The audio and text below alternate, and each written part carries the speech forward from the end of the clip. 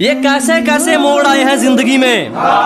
दिल लगाने और टूटने आम हो चुके हैं। ये जनाब, ये कैसे कैसे मोड़ आए हैं ज़िंदगी में? दिल लगाने और टूटने आम हो चुके हैं। और बुढ़ापे में लवर्स के नेता ना बन जाएँ। हम जवानी में इतने बदनाम हो चुके हैं।